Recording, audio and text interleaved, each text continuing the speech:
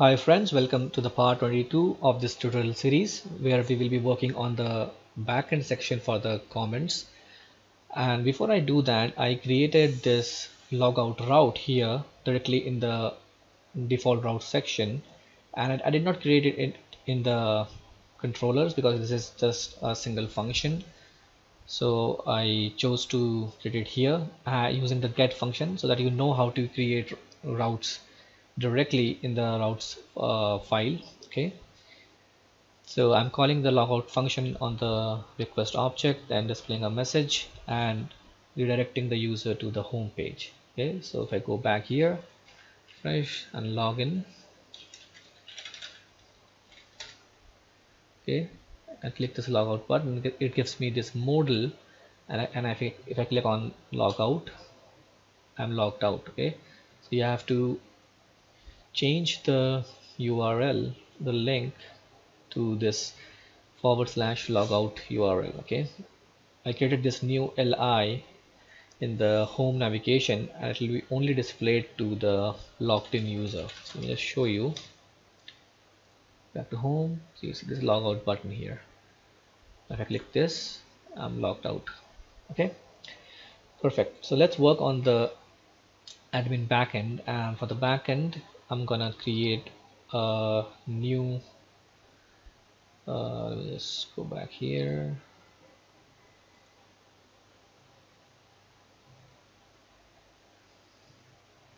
Admin section. Okay it should be a site nav admin footer admin header. Okay categories. We have the categories here let's create another li will be my comments. Okay this will take me to my to the admin slash comment url which i need to create. Okay. I'm gonna close the default controller default route and the top navigation. I'm gonna open admin controller. In admin route so I need to create my admin comment routes okay? So router dot route. This will be comment okay?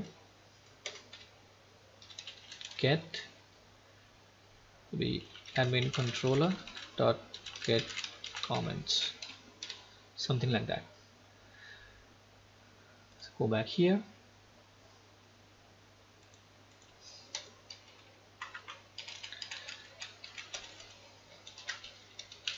Comment. Route section. So we get comments. Yep. We'll have a request a response object. Okay so if you if you see uh, my comment model I have this user uh, property as well that is pointing to my user model okay? I want to populate that as well here. I'm gonna refer to the comment uh, model here. So I can use it. Comment okay? This will be comment. Okay. So first of all I want to find all every comment that is present in my database. Also I want to use a function called populate. So this will populate the corresponding user which I'm referring to in my in my model okay? And then it will give me all comments if I have any I want to render a default page that is admin comments index which I am yet to create okay? So I'll pass the comments that I have to the view okay? So now let's go ahead go ahead and create the view here. So I'm going to create a new directory say comments and create a new handlebar file. Make sure you put the dot handlebars extension. My IDE does that for me. So it will be a very simple code. So I'm gonna type it manually. So I'll create a row first. This is a bootstrap class. Inside that I'm going to create a container to center everything. And I'll have two columns. Uh, in fact I, I will have one column that will be centered somehow okay?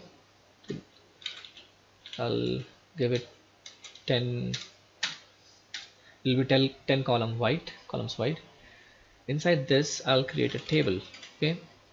And I'll give a few classes.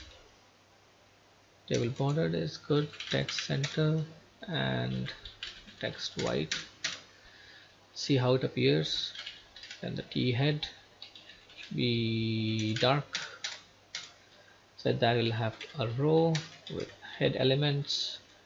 Uh, id then the owner or author or let's say publisher.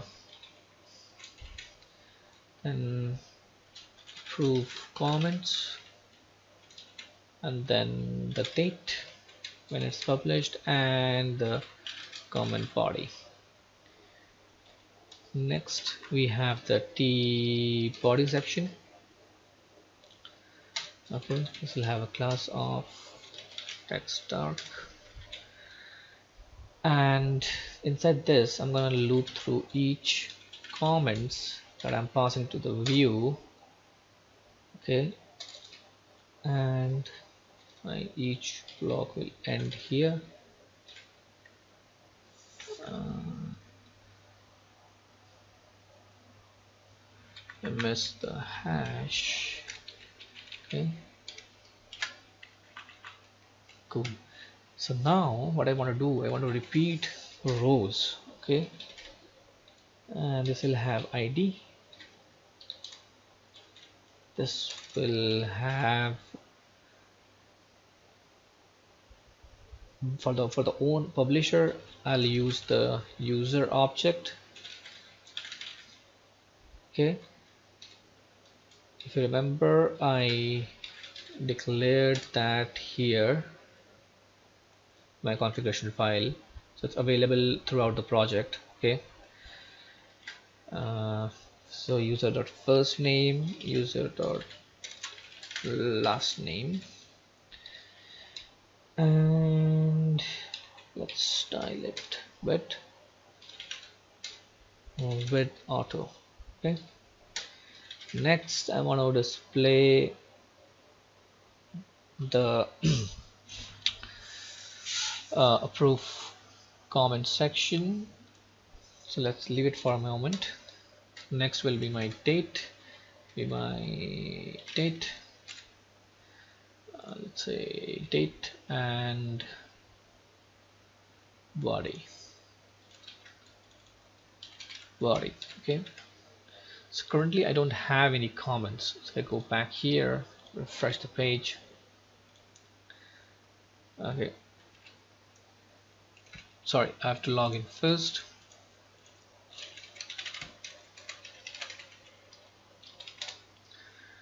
Click on comments I have no comments there okay? So what I can do I can go to my uh, database and create a new collect collection name it comments okay. create a comment insert document what I want. I want uh, body. This is a test comment. Next what I want. I want uh, let's say user. Okay we'll leave it as it is. Uh, test user okay. Date today and comment is approved this will be a boolean true okay insert. So I refresh now. Let's see if it works or not. Uh, I know it gave me an error because it was not able to find that user I believe. Yeah. Okay. So let's bind it to one of the user object user IDs okay? I'm gonna create this for John Doe okay?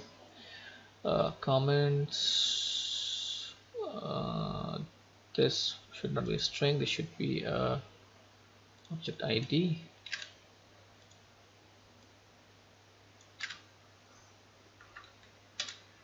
okay update. Now if I go back here.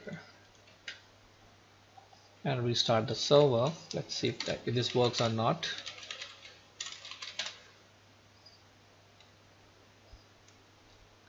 This is a date time again. It might give a wrong value. Uh, so what I'm gonna do I'm gonna go to a go to post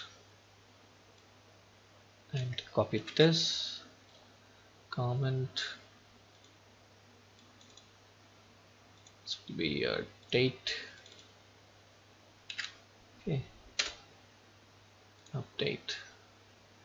All right let's see. If I log in again.